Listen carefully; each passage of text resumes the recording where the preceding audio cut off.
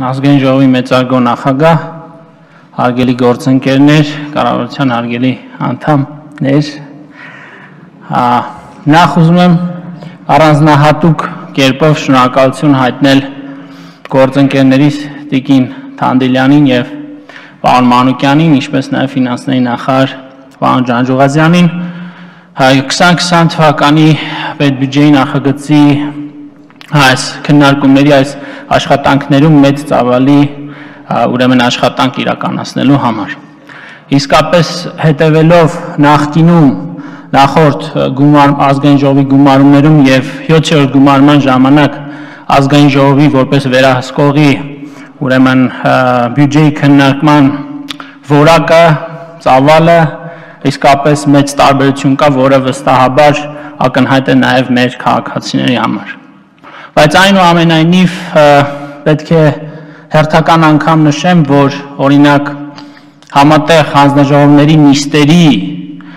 մեր ընդդիմադիր գործընկերների եւ լիագումար նիստում մեր ընդդիմադիր գործընկերների հնչեցրած գնահատականներում ցավոք սրտի կան տարբերություններ։ Մենք շատ խոսեցինք թվերից, որ 4 ու 9 հեղափոխական չէ, իներցիոնը, բյուջեն եւ այլն եւ այլն առհասարակ ավելի շատ բյուջեի ոչ հեղափոխական լինելուց խոսեցին հատկապես այն падգամավորները, որոնք որպես կանոն այլ դեպքերում խուսափում են հեղափոխություն բառը օգտագործելուց։ Ինչ վերաբերում է իներցիոն բնույթին, ապա պետք է նշեմ, որ այո, 2020 թվականի բյուջեի մեջ պետք է լինեն նաև իներցիոն մասեր, ի վերջո հեղափոխությունից հետո օրինակ մենք շարունակում ենք ունենալ կենսաթոշակառուներ, նպաստառուներ եւ բնական է, որ իներցիոն մաս այնուամենայնիվ բյուջեն պետք է ունենա եւ անընդհատ շեշտելով, որ բյուջեն չի արտացոլում հեղափոխության տրամաբանությունը, էությունը, այդուամենայնիվ օրինակ նույն դատաիրավական բարեփոխումների հետ կապված իմ հարգարժան գործընկերներից մեկը այս ամբիոնից ելույթ ունենալով նշում էր, որ տրամաբանությունը արտահայտված չէ հաջորդ տարվա բյուջեում, բայց չէ որ իշխող ուժը կառավարությունը նույն դատաիրավական բարեփոխումների հետ կապված շատ անկեղծորեն բաց տեքստով ասել էր, որ նույն ֆինանսական մասը նախատեսում է միջազգային գործընկերների դոնորների հետ միասին համատեղ ջանքերով միջոցներ ներգրավելով դրանք իրականացնել եւ դասական իմաստով այն չպիտի ներգրաված լիներ հենց այս բյուջեի նախագծում Եվ ես առավել քան վստահ եմ, որ իմ հարգարժան գործընկերները սրանք հիշում են, բայց այ չեմ հասկանում, թե ինչու են փորձում այլ այլ ճանապարհով տանել այս բովանդակությունը այնուամենայնիվ ես ուզում եմ ասել, որ ինձ համար որպես կրթության, գիտության եւ մյուս մի քանի ոլորտները համակարգող վերահսկող հանձնաժողովի նախագահ առանձնահատուկ կարևորություն ունի գիտության եւ կրթության ոլորտը։ Եվ այո իսկապես մի կողմից մեր գոհնակությունը հայտնելով նույն գիտության եւ կրթության ոլորտում նախարարության 2020 թվականի բյուջեով նախատեսված գումարները ի վերջո չմոռանանք, որ նույն կրթության բնագավառում 20 մոտ շուրջ 20 միլիարդ դրամի հավելյալ գումարներ են հատկացված, որի մասին ցավոք սրտի մենք չենք խոսում։ Եվ առհասարակ ես ինչ ինձ պակասեց այս վերջին երկու օրերի ընթացքում, շատ էին թվերը, բայց մենք ըստ էության բովանդակության շուրջ դիսկուրս չունեցանք։ Իսկ ես ուզում եմ մի հարց տալ, համատեղ մշտական հանձնաժողովներից զատ քանի ընդդիմախոս, քանի ընդդիմադիր падգամավոր պահանջեց, որպեսզի պրոֆիլային հանձնաժողովները օգտվելով ԱԺ կանոնակարգ օրենքի թույլ տված հնարավորությունից նաև ոլորտային ուրեմն քննարկումներ անցկացնեն եւ մի բան ինչ արել է մեր հանձնաժողովը։ Ես ձեզ հարց եմ տալիս, քանի ոլորտային պրոֆիլային հանձնաժողով է նիստ գումարել եւ կոնկրետ բովանդակային քննարկում անցկացրել մշտական հանձնաժողովներից հետո։ 1 հանձնաժողով։ Եվ ես հույս ունեմ, որ այնուամենայնիվ,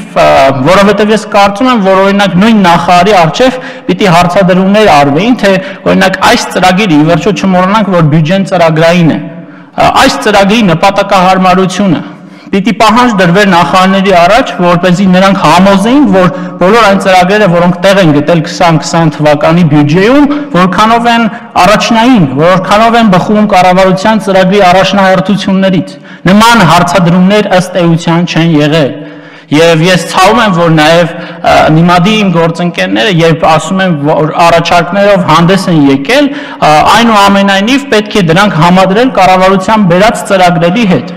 որպես այդպիսին բովանդակային քննադատություն կառավարության բերած բյուջեի ծրագրերի մասով եւ միջոցառումների մասով ցավոք սրտի ես չեմ լսել եւ դա ինձ իսկապես պակասեց բայց այնուամենայնիվ այս նոր խորհրդանը իր հետ բերում է նաեւ նոր մշակույթ քաղաքական մշակույթ եւ ես հույս ունեմ որ ժամանակի ընթացքում մենք ոչ միայն տուրք կտանք թվերին այլ նաեւ բովանդակությանը եւ էությանը եւ ոգուն բյուջեի ինչ վերաբերում է կոնկրետ ոլորտներին քանիցս նշվել է. Պարոն նախարար պարոն Ջանջուղազյան եւս մեկ անգամ եւ կարծում եմ վերջին անգամ օգտվելով այս առաջարկներ ներկայացնելու պատուհանից հնարավորությունից իսկապես ուզում եմ կարևորել գիտության եւ կրթության ուղված միջոցներին եւ այդ մասին է վկայում նաեւ բազմաթիվ падգամավորների, օրենսդիրների